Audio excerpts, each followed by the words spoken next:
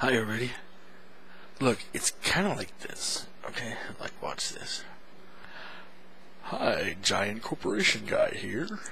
Listen, kids, because of some logistics back in the 80s, we had to plan some bombs going off in the planet Earth, some nuclear weapons. It was it was all a big financial mess. I, I a bunch of I just I can't get into it. It's too heavy. Okay.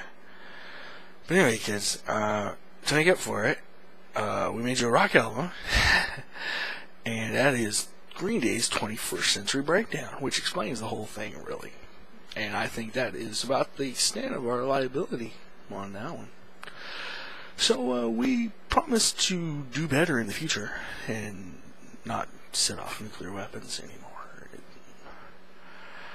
Well, enough said.